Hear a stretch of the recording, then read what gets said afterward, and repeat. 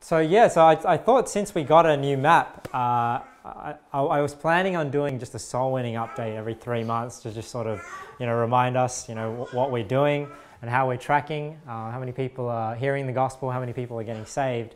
Uh, and I figured because we've got a new map now, it might be a good time to do that, even though we've only been doing it for about, I think about two months and a couple of weeks only. So coming up three months in, I think June 1st will be three months. Um, now, I just wanted to note to you guys that uh, I've, I've, if you haven't noticed already, and you probably have, that I've just changed uh, some of the statuses just to include a bit more. So gave a tract, I've added as um, gave a tract and brief discussion. And then heard the gospel can also be counted as an in-depth discussion.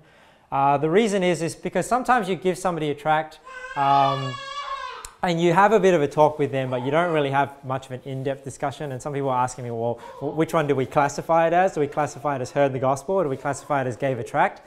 So I decided as a brief discussion, so this might be something where you don't really open your Bible, you don't really get into a lot of deep top topics. Maybe you only give them a, a, brief spiel about what the gospel is, uh, a few back and forth, um, but then you move on. Maybe they didn't have time to talk more. So we'll label that as uh, gave a tract or a brief discussion. And then I've put here as heard the gospel in-depth discussion just because we have a lot of Muslims in our area and I find you may get into a lot of conversation about the Bible, about Muhammad, about Islam, and not really feel that you've spoken a lot about the gospel because you haven't really gotten to that point yet. So I still want to label that as an in-depth discussion because um, you know if you did spend a lot of time talking with them, uh, let's mark that one as either heard the gospel or uh, had a, uh, an in-depth discussion. Now the other things I've changed as well is for orange, uh, well, let's change that to if you're following up with somebody but they are not saved. Because I want to be able to differentiate between the people we are following up with that did get saved and the people we're following up with that didn't get saved. Because when we look at this saved number, I, I want to be able to either look at that or that and then we can get a total of how many people have called upon the Lord. Whereas if, if we put following up whether they're saved or not saved, that number sort of gets lost in there. Um, and I guess if they're already saved and maybe we're following up with them, I guess it's not so, not so big. We'll just sort of make it uh, this green one too. So keep that in mind. If you do know of any pins that you've put where you're following up with them and they did get saved, if you can just go back and update it and maybe make it green, um, that way we can differentiate between the saves and the not saves, not saved. Uh, and then if they are saved and we're following up with them, I've changed this last one to either they're somebody that comes to our church, which is one on the map because our house, uh, or um, oh, I think I might. Oh, I might not have actually taken this screenshot when I when I added my pin, so that's why it says zero. But uh, following up as somebody that's saved. So hopefully that clears up the, the new statuses.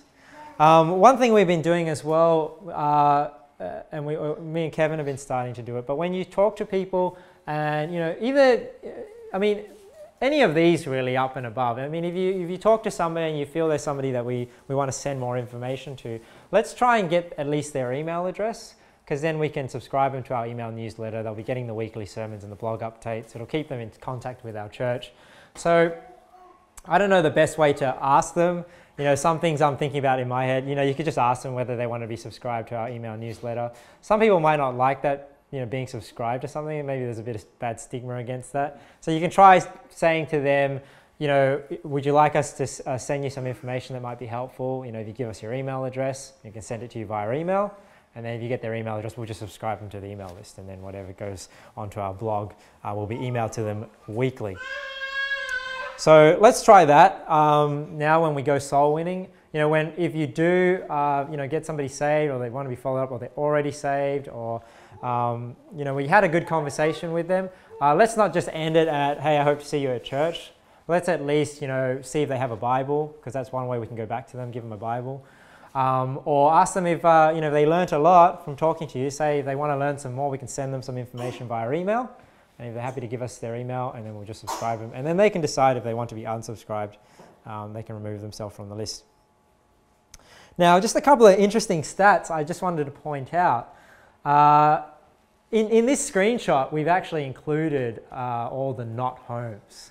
But you know, one thing, and, and even if you look at that screenshot, if you include every door, if you were to add up yellow and up, so either they you had an in-depth discussion, or they heard the gospel, or you're following up with them, they, they were saved, or they're already saved, or we were following up with them as a saved person.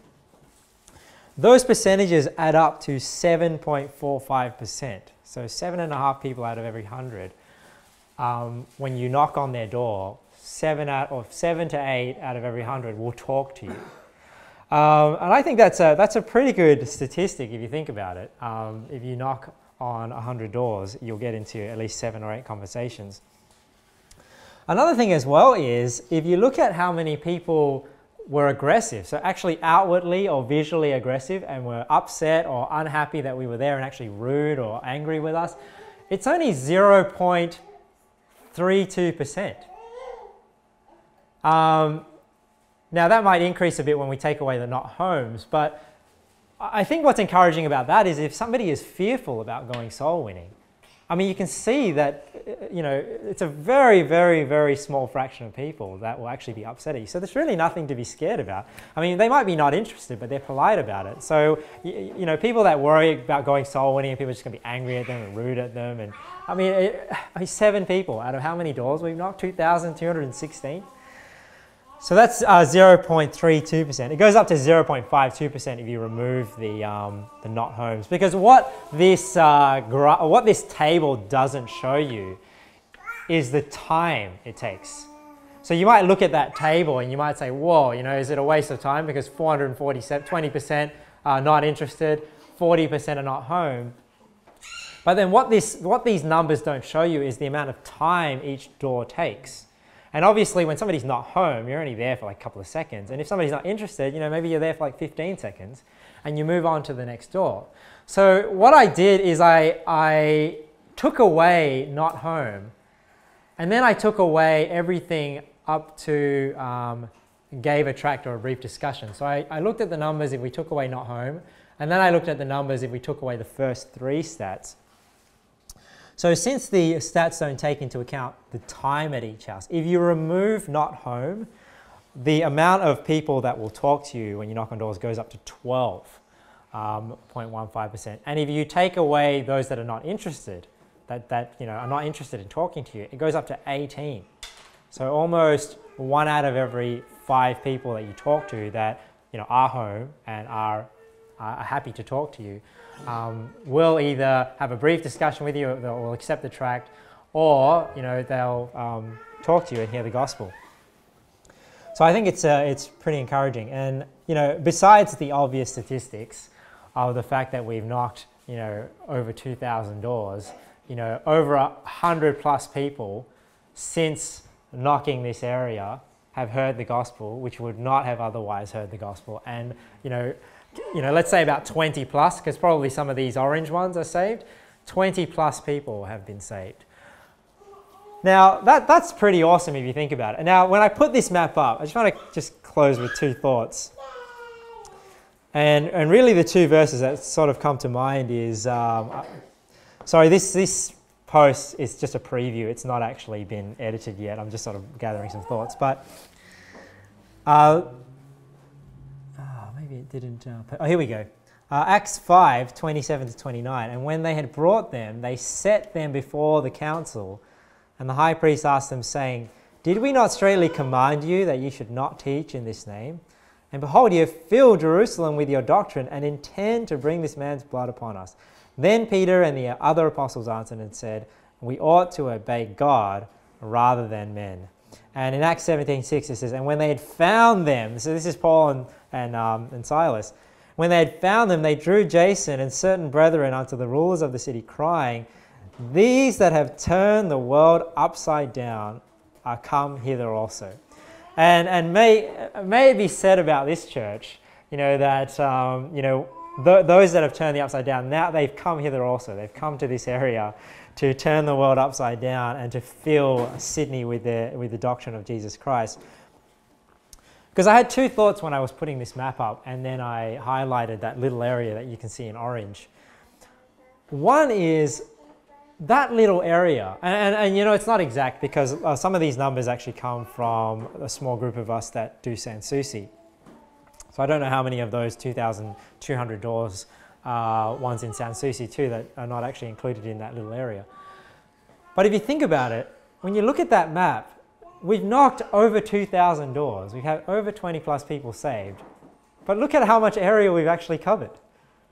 It's a tiny area of the area that we are aiming to cover. And it just makes me look at that and I just wonder, man, great things are about to happen.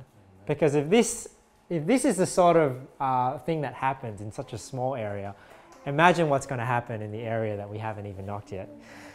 Uh, and the other thing was, I was thinking, you know, when I, when I track the attendance, you know, I think on average it's about six to eight people going soul winning twice a week.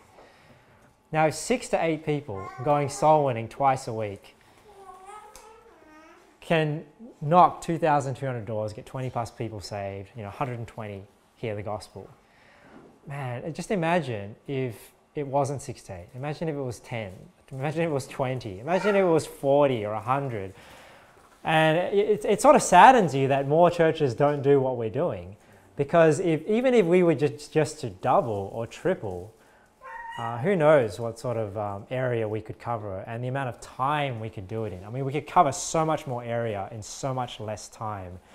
Um, so hopefully our church starts to see growth. We start to see people um, getting on board because I believe we can do great things. There's great things in store for us. So may God continue to use our church.